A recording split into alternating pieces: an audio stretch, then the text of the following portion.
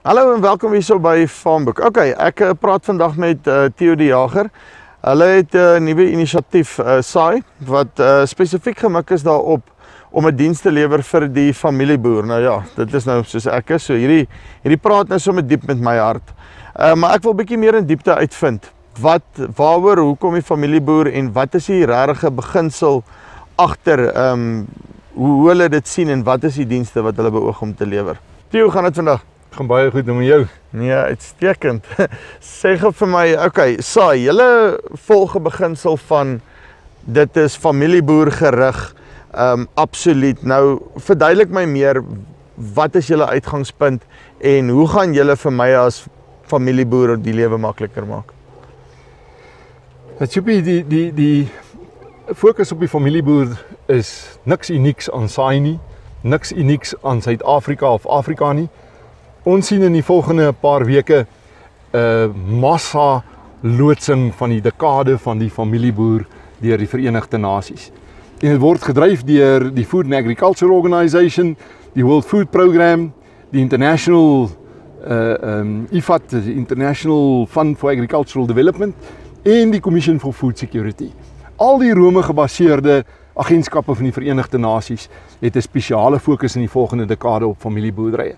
Maar jy sal onthou, 2014 was die internasionale jaar van die familieboerdery en dit was uit daardie sukses wat hierdie inisiatief gekom het om 'n hele dekade daaraan te wy. Jy sien 'n familieboer is nie 'n groot boer of 'n klein boer nie. Dis nie 'n ryk boer of 'n arm boer nie. Dit is nie 'n wit boer of 'n swart boer nie. 'n Familieboer is bloot 'n grondgebaseerde onderneming wat behoort aan 'n familie. En dit is by verre die oudste en die wyds verspreide onderneming waar daar van geslag tot geslag sekere vaardighede, entrepreneurskap, bates en 'n toekomsvisie, 'n droom oorgedra word. Geen ander industrie in die wêreld het daardie eienskap nie. Die Food and Agriculture Organization het na aanleiding van sy vennootskap met 'n paar universiteite in 2012, 2013 en die verslag wat hy daarna uitgebring het. Gesê dis hierdie familieboerderye wat die naaf is waar rondom die landelike wêreld draai. Daar's lewe in die landelike wêreld omdat daar familieboerderye is. Jy sien, hulle het ook bevind dat 20 boere wat elkeen 100 hektaar plant, amper dubbel soveel werkers in diens het as een boer wat 2000 hektaar plant. Dis ekonomie van skaal. Ek meen dit is skaal. Dis dit en, werk. Megaboere se ouditeur en se prokureur is in die stad. 'n Megaboer gebruik soveel insette dat hy koop direk van die kunsmismaatskappy, direk van die gifmaatskappy, direk van die van die van die van die dieselmaatskappy. Hy het nie die klein boekhouer, die klein prokureur in die dorp nodig nie. Hoe meer megaboere ontstaan, hoe meer kwyn klein dorpies. Ou sê ook, daar's drie bene waarop 'n dorpie staan. 'n Laerskool, gemeentes of religieuse aktiwiteit en 'n koöperasie, 'n landboubesigheid, 'n insetverskaffer of 'n 'n aankoper. En dit is die familieboere wat daardie funksies in die dorp aan die gang hou. En as een van daai funksies wegval, dan val die hele dorpie om. En ons het daarvan gesien in Suid-Afrika oor die afgelope 10 jaar. Nou die familieboer is 'n bietjie meer as dit. D dit is ook die die vangnet vir die ekonomie in landelike gebiede. Al is dit nie 'n boer wat baie geld maak self nie. Is sy teenwoordigheid in 'n omgewing of 'n klomp van hulle se teenwoordigheid in die omgewing juis dit wat die ekonomie uitbrei en laat floreer.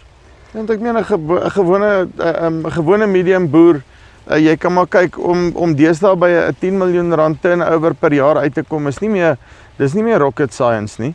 En uh, ek ek stem 100% saam met jou. Daar's ongelooflik baie waarde wat in jou plaaslike ekonomie invloei. Nou jy sien waarom dit so belangrik is om spesifiek op hulle te fokus is dat dit weinig met voedselsekuriteit te doen. Een of twee megaboere kan 'n stad se voedselsekerheid anker. Die stad gaan nie voel dat daar net twee ouens is wat vir hulle produseer nie. Maar dis die klein dorpies wat omval. Dis om daar 100 sulke boere is in 'n omgewing wat daar 'n klein dorpie in die gang is. Vo voedselsekerheid kan in stand gehou word deur megaboere. Maar landelike gebiede en die welvaart van die landelike gebiede en en die die die die werkgeleenthede word eintlik veranker deur die familieboere. Maar kan ek dan verder gaan om te sê dat julle eintlik nie 'n uh, net 'n familieboer organisasie is nie, maar dan gaan dit baie dieper want dit raak soveel familiebesighede. Ehm um, dat dit eintlik 'n familiebesigheid organisasie is. As ek stupid as ek so redeneer. Ek sou dit andersom stel. Ek sou eerder sê daar's 'n noodsaak vir 'n soortgelyke struktuur vir familiebesighede ook.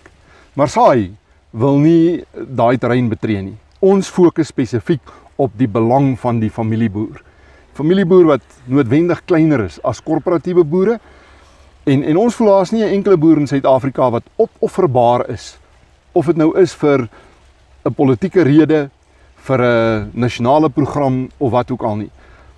In ongeag hoe lank hierdie boer op sy grond is, ongeag of hy 'n 4de, 5de geslag boer is en of hy nou 'n begunstigde is van grondhervorming, solank die onderneming in die besit is van 'n familie, dan sal saai vir daai ou opstaan. OK, so ehm um, saai is vir familieboere. Dis die kort en die lank van die storie. Uh ek ondersteun hierdie ehm um, inisiatief ongelooflik want ek is 'n familieboer en dit is vir my baie baie belangrik dat ehm um, my belange beskerm word going forward. So knoppie hier onder. Ehm um, as jy wil ehm um, opsign daarso. Ehm um, ek dink is R100 'n maand of so iets, so is ook nou nie 'n arm en 'n been nie. Ehm um, gaan en uh, ondersteun hulle. Ek uh, kyk na ons van ons ander video's. Dis nie 'n wegbreek organisasie nie. Ehm um, hulle is nie in kompetisie met die ander ouens nie. So ehm um, dis net om te sorg dat ons as familieboere op ons plase bly. So ja, dit is ehm um, ek hier weer tussen die milies. Tot volgende keer. Groete.